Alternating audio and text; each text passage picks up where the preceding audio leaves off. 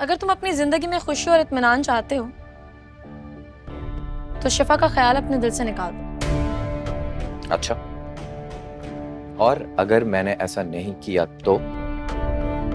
तो दोनों सूरतों में नुकसान तुम्हारा ही होगा। ना तो तुम्हें शिफा मिलेगी और ना मैं तुम्हारे भाई का घर बसने दूँगी।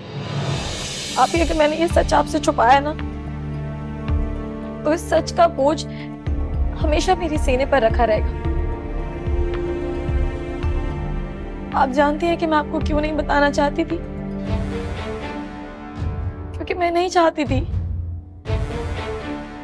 कि मेरी किस्मत की स्याही आपकी खुशियों को दावदार कर दे। लेकिन आप जिस घर में जा रही हैं, लोगों के बारे में आपको पता होना चाहिए। क्या कह रही हो तुम? किसकी बात कर रही हो? आती की।